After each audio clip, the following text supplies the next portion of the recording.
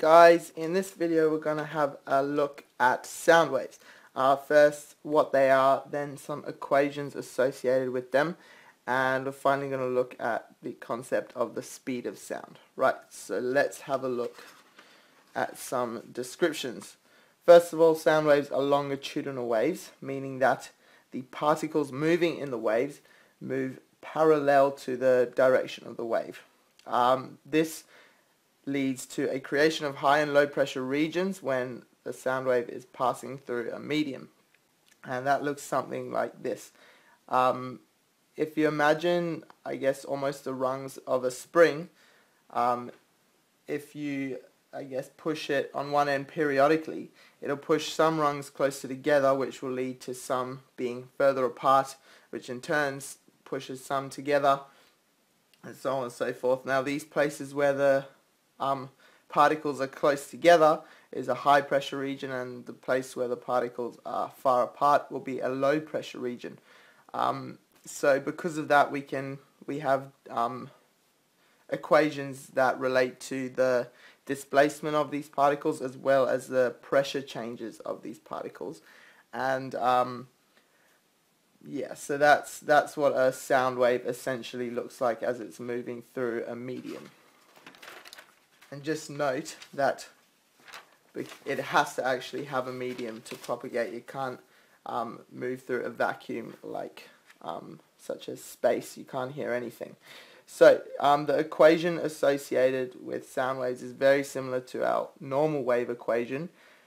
Um, this is the displacement equation. So we've got S as a function of x and t equals S max, which is essentially our amplitude um, times cos kx minus omega t. So we've seen that many times. We understand what all these um, variables mean.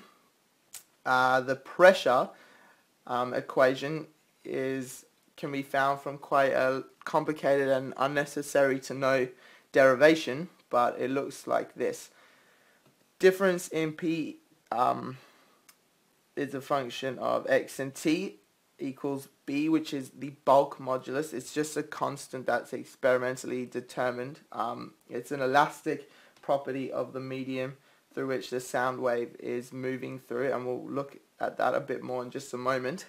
So it's b times s max, that amplitude, times k, the wave number, times sine kx minus omega t.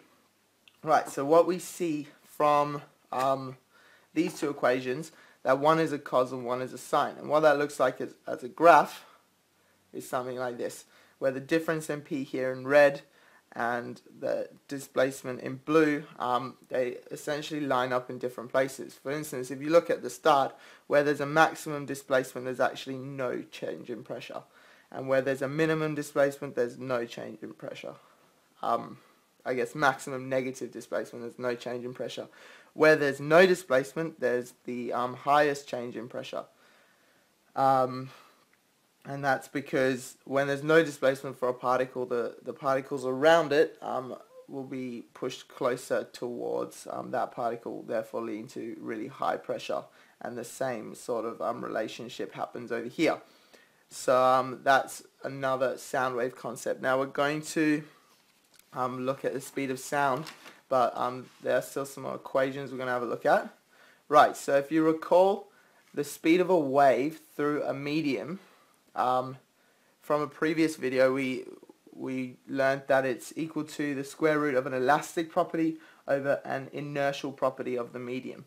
Now, for the speed of sound, which moves through um, mediums such as air, can actually move through liquids and solids, um, we have this equation which is on our formula sheet. V is equal to the bulk, uh, square root of the bulk modulus over the density of the um, medium. So that bulk modulus is to do with, um, it's experimentally determined and it's to do with um, each medium. And what this, what this equation tells us is that um, for one medium, all sound waves will travel at exactly the same speed. So sound travels constant at a constant rate through um through a single medium and just a little rearrangement on this um, on this equation we get b equals p times uh, v squared and that's how they actually determine the bulk modulus and we'll see where this is actually used in, a, in an equation in just a moment. Um, a lot of the time you'll be dealing with the speed of sound through air um, and it's given the variable c and it's generally somewhere in the ballpark of 330 meters per second. Um, I've seen it 343, I've seen it 330 but you'll be given that on a data sheet so you don't need to worry about remembering that. Right, we're just going to go back to the equations and have a quick look here. Um, if we if you recall that pressure equation, which is equal to B times S max, K sine um, Kx minus omega T, what we want to find is the max pressure, um, which looks like this because we know that the maximum value for um, sine is 1 or minus 1, but in this case we just take the positive. So the change in pressure max, or the amplitude of the change in pressure, is equal to that bulk modulus times S max K. But this bulk modulus isn't actually so useful for us to um, to um, look at.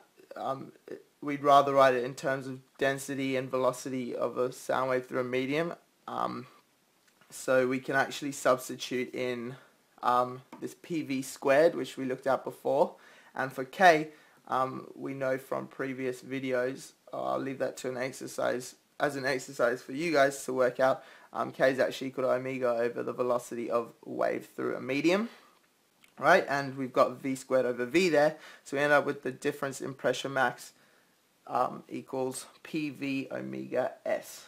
Um, yeah, and that is actually on your formula sheet, and it's how we find the amplitude of changes in pressure for a sound wave moving through a medium. And that concludes this introductory video. Thanks guys. Cut study time with concise video summaries by top students. Visit spoonfeedme.com to view more free videos in this course and hundreds of others.